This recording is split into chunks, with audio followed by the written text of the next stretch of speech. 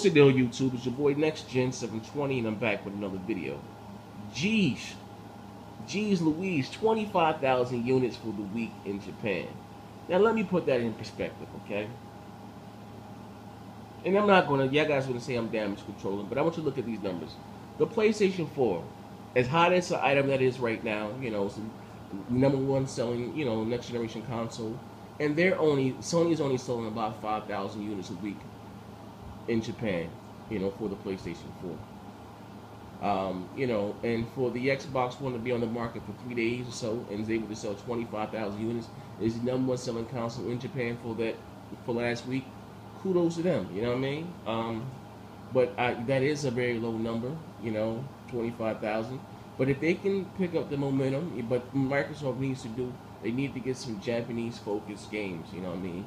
Now, you know, I take my hat off for them. They go, they're doing the whole Minecraft deal. You know, I think Minecraft is big overseas, and I think Minecraft is big everywhere. I don't care for it. I'd rather they took that two billion dollars and bought Crytek, bought Capcom. You know what I mean? Square Enix or something like that. You know, Crystal Dynamics. They could have did something like that.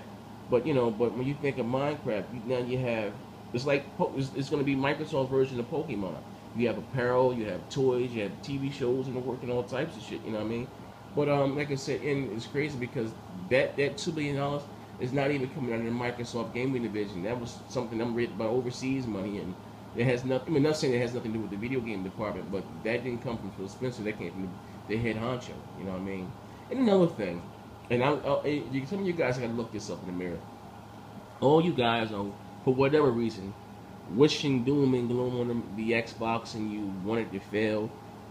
Especially, you know, again, I'm not trying to pull a race card or start some anti-terrorism, you know, Patriot Act or something, but that's just, and, and I mean, I'm just talking about Americans here, you know what I mean? Why would you want an American company to fail that employs American, you know, people, you know? Just think about that, you know? What you guys are rooting for, yeah, they gave me like that's the dumbest shit ever. You don't and again, you don't want Sony to be the only console. You don't want Nintendo. Competition is good for everybody. And for those of you thinking that the Xbox is going to go somewhere for whatever, I don't know. Like you know, trust me, Sony has a better chance of filing bankruptcy before you know the Xbox goes anywhere. I'm just being real.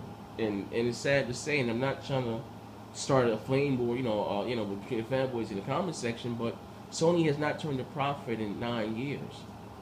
You know, that's that. Why do you think two years ago Sony's investors wanted them to split the company up? The shit, you know, what's not making money. You know, I'm not. You know, I'm saying. You know, even though the PlayStation 4 is selling well, they still haven't turned a profit yet. You know, so you know, like now for nothing, the Xbox gaming division is worth more than Sony in a whole. I'm not talking about their assets, how many buildings they may still own. No, talking about what they have in the bank. I think Sony has about 16 billion dollars or something like that. You know, but anyway, this is your boy Next Gen 720. Um, the China release is right around the corner, and that you know, I, I think in China the Xbox is going to do much better than they did in Japan because even like I said in China, you're able to get the Xbox One as your you know you know through the, your cable provider for like t- extra ten dollars a month or something like that. So, and, and they're signed a partnership with the largest cable provider, broadband provider in China. You know what I mean? So. This is it's good look for Microsoft. But anyway, this is your boy Next Gen 720. Uh, look out for the Big Gamer Small Talk podcast later on tonight. And as I always say, bang, bang. Damn, dog. 25,000? It's alright, though. Let's make it happen. Bang, bang.